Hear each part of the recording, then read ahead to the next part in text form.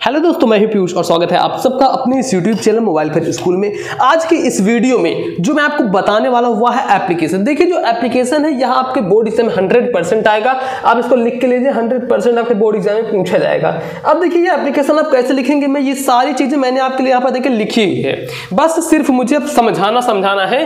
केवल आपको इतना मैं समझा दूँगा कि आपको पूरा अच्छे से समझ में आ जाएगा और आप अपने बोर्ड एग्ज़ाम में बहुत ही अच्छे तरीके से, अच्छे ढंग से लिख पाएँगे।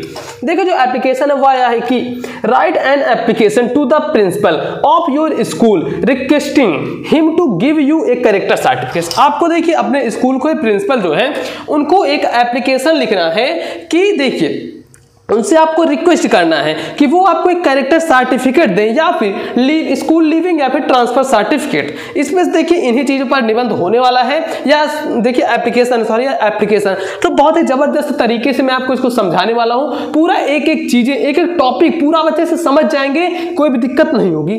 तो आइए शुरू करते हैं दोस्तों। देखिए, कोई भी निबंध हो, कुछ भी चीज़ हो, सबसे पहले आपको देखिए एप्लीकेशन में क्या करना होता है? ये लिखना, देखिए निबंध ये नहीं, ये है एप्लीकेशन इसको आप लोग ध्यान दीजिएगा, अभी निबंध निकल गया, लेकिन यहाँ पर देखिए एप्लीकेशन है, प्रार्थना पत्र इसको हिंदी में बोलते हैं।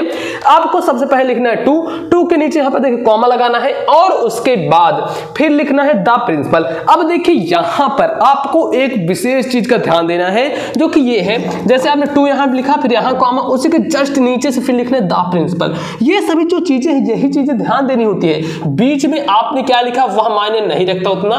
बस आपको यह देखा जाता है कि आपकी प्रेजेंटेशन कैसी थी। उसके बाद आपको लिखना है जैसे द प्रिंसिपल। फिर देखिए, द प्रिंसिपल लिखने के बाद आपको फिर से इसमें क्या करना है?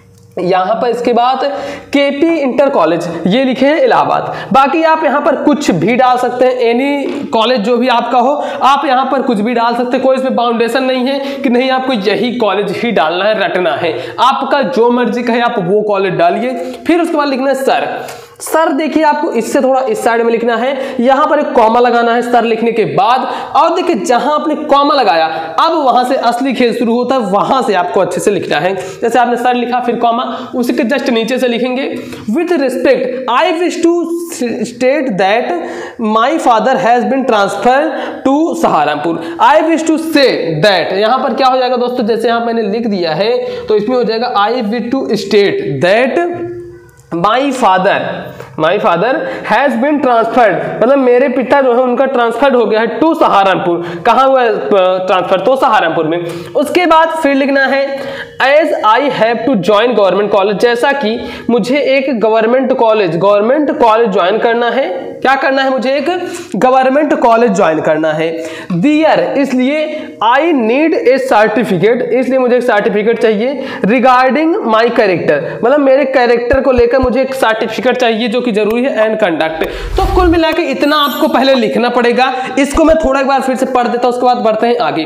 With respect I wish to state that my father has been transferred to Saharanpur as I have to join government college there I need certificate regarding my character and conduct इसमें कुल मिलाकर ये कहा जा रहा है कि मेरे पिता का ट्रांसफ़र हो गया सहारनपुर में। जैसा कि अगर मुझे गवर्नमेंट कॉलेज ज्वाइन करना है तो आप मुझे एक कैरेक्टर सर्टिफिकेट चाहिए। उसके बाद, देखिए नीचे, यहाँ पर लिखने के बाद आपको लिखाना है फुल स्टॉप फुल स्टॉप के बाद आपको नीचे वाली लाइन से पैराग्राफ चेंज करके लिखना है. I wish to bring to your kind notice I wish to bring your kind notice that I join this institution in 2000 जहाँ पर कुछ भी आप लिख सकते हैं. यहाँ पर जैसे मैंने एक्स लिख दिया 2020 लिख सकते हैं 2022 लिख सकते हैं 2024 25 26 जो मन हो आपका उतना लिख सकते हैं.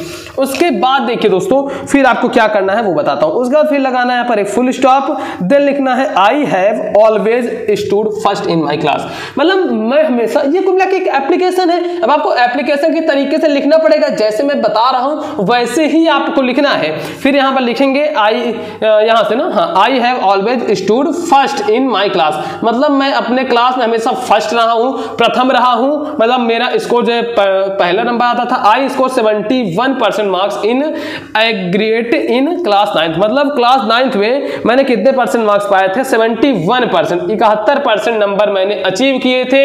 मोर ओवर मतलब इससे भी ज़्यादा, यहाँ पर देखिए, जैसे आपने क्लास नाइन्थ लिखा, उसके बाद एक फुल स्टॉप लगाना है, फिर पैराग्राफ चेंज कर देना है। देखिए, आप बीच बीच में अगर आप पैराग्राफ चेंज कर देंगे तो एग्जामिनर को देखने में अच्छा लगेगा। वो समझेगा कि हाँ बच्चे ने आखिर पढ़ाई की है। अब वह आपको मान लीजिए, अगर छह सात नंबर का है तो उसमें से आपको छह नंबर दे ही देगा, पक्का है। अगर जैसे जैसे मैं बता रहा हूँ, वैसे लिखते हैं, आपको पूरे नंबर मिलेंगे, एक भी नंबर कोई कट ही नहीं कर सकता। अब बढ़ते हैं नीचे। उससे पहले बता दूँ, आपके लिए मैं हर सब्जेक्ट की तैयारी कर रहा हूँ तो आपका बस एक ही चीज़ है लाइक शेयर और कमेंट आप करिए, और चैनल को सब्सक्राइब करिए, जितने भी बच्चे हैं, चैनल को ज़रूर से सब्सक्राइब कर ले। आप सभी अगर सब्सक्राइब कर लेंगे तो मैं और भी स्टडी मटेरियल आपके लिए लेकर आ रहा हूँ, वह भी आपको मिल जाएगा। देखिए, फिर है moreover I always took active part in college games मतलब इसके अलावा मैं हमेशा एक एक्टिव पार्ट रहता हूँ कॉलेज गेम्स के लिए एंड को सर्कुलर एक्टिविटीज़ मतलब जो अदर एक्टिविटीज़ होती हैं, उसमें भी मैं पार्टिसिपेट पार्टिसिपेट करता हूँ, उसमें मैं बढ़ चढ़ के हिस्सा लेता हूँ। उसके बाद है देखिए circular activities I was always obedient to my teachers मतलब मैं अपने टीचर्स का हमेशा आगे ही रहा हूँ, अपने टीचर्स की बात मानता हूँ, उनका पालन करता हूँ तो यह कहा जा रहा है। उसके बाद जो मेन चीज़ अब आता है, जो मैंने ब्लैक पेन से लिखी, आपको भी ये ब्लैक पेन से ही लिखना है। Thanking you for an early action thanking you for an early action ये आपको लिखना है। फिर यहाँ पर आपको लिखना योर्स ऑबिडियंटली क्या लिखना है? योर्स ऑबिडियंटली अब नीचे आप अपना नाम नहीं लिखेंगे, यहाँ पर आपको यक्स यक्स यक्स कर देना है।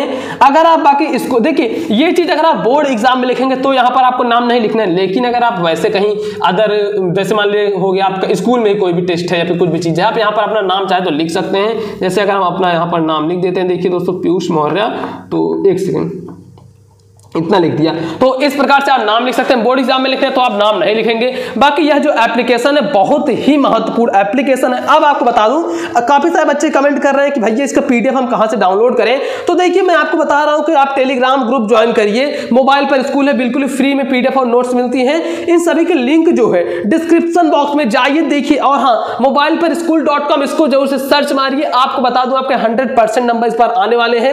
वीडियो अच्छी लगी हो तो वीडियो को आप सभी एक लाइक ज़रूर से करेगा, चैनल पर नया है तो चैनल को सब्सक्राइब कर लीजिए। तो बस दोस्तों, फ़िलहाल आज की वीडियो में इतना ही। अब मिलते हैं हम आपसे और किसी नेक्स्ट वीडियो में।